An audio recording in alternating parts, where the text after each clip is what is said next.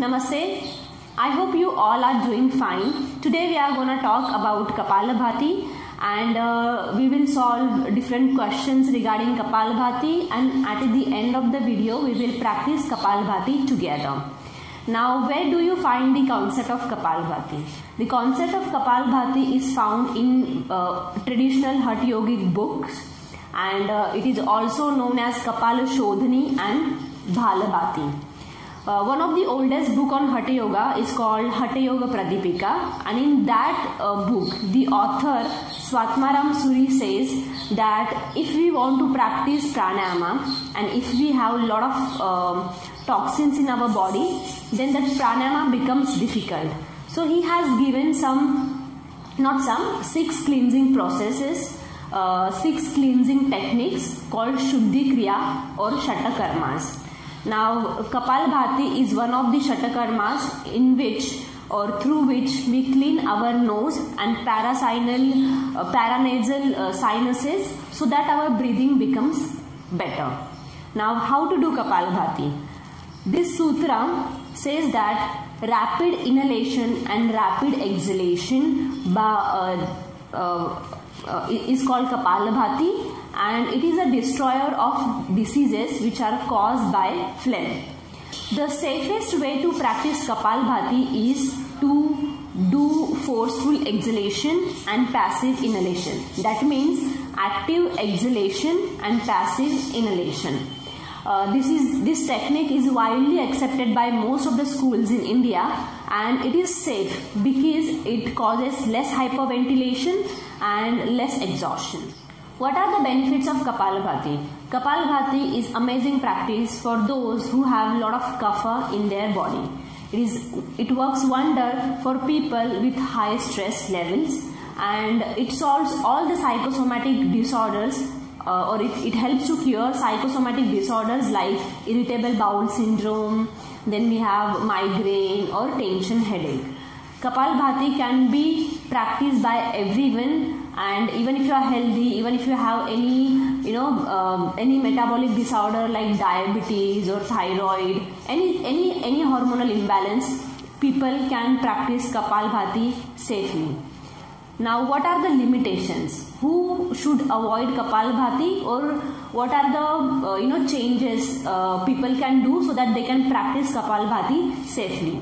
First if you are if you are having acute asthma and if you are unable to breathe properly then kapalbhati may not be suitable for you. But again you need to ask your uh, yoga teacher and then practice it with proper guidance. Now people with hypertension can practice kapalbhati there are a lot of people say that they should not practice but they can practice. They just have to give the uh, slower stroke. Like they don't have to exert a lot of pressure and uh, people who have who have ear infection or maybe they already have a difficulty in breathing so they may go for other practices and then once their lungs are ready they can come back to kapalbhati and practice kapalbhati safely.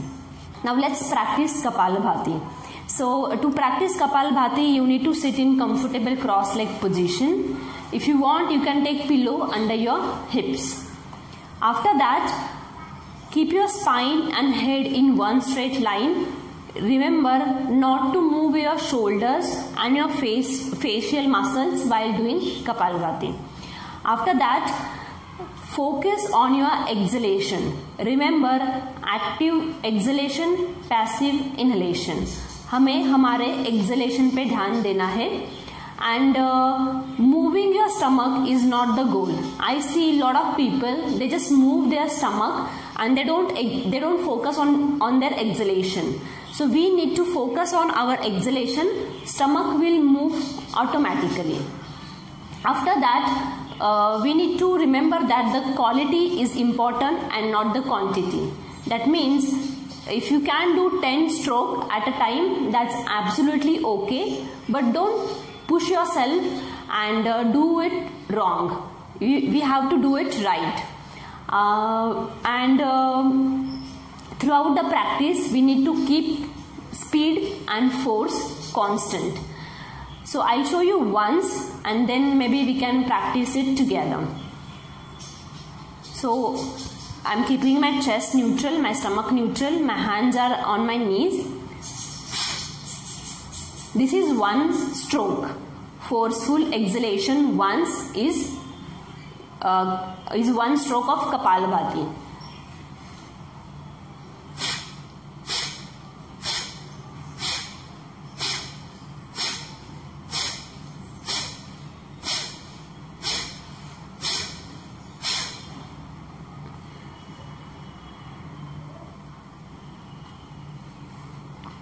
You must have noticed that my speed and my force is constant. It's not that I have exerted a lot of pressure on the first stroke and then I reduce it. No, it is not like that. We need to keep it constant. After that, uh, you may go, go for 10, 20, 30 and 60 or slowly you can increase. See, it's, it's not about how many you are doing, uh, it's like how we are doing and how are you feeling after Kapalbhati is very important. If you feel back pain, chest pain, stomach pain or breathlessness, then please do not continue your practice. Wait for few seconds and then again if you want to try you can try or you can give a gap of few days and then come back to Kapalbhati. So let's do one more time.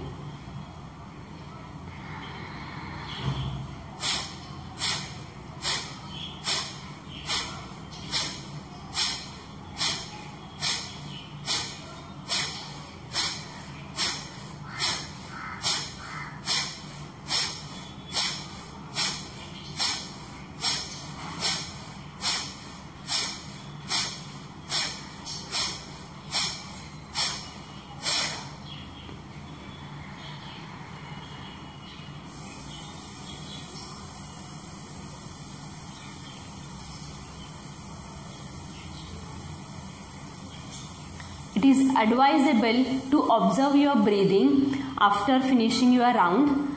You can do 2 to 3 rounds but make sure that you give at least 1 minute to 2 minutes of gap in between uh, each set so that you can observe your breathing and observe the suspension of the breath for few seconds or for few minutes depending on your practice but do give a gap and observe your breathing. You will feel the difference. You will notice something different. Uh, practice Kapalbhati and do let me know if you have any questions. Thank you so much and see you in the next video.